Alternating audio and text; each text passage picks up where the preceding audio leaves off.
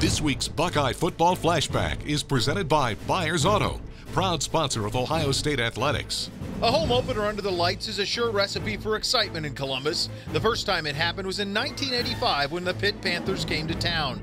With star tailback Keith Byars sidelined with a broken foot, Earle Bruce's Buckeyes had to win this one in unconventional fashion through the air. Ohio State managed only 48 yards rushing, but quarterback Jim Karsatos balanced that with a 242 yard passing performance. He connected with future Hall of Famer Cris Carter nine times for 95 yards in the Buckeyes' 10 7 win. This week's Buckeye Football Flashback is presented by Byers Auto.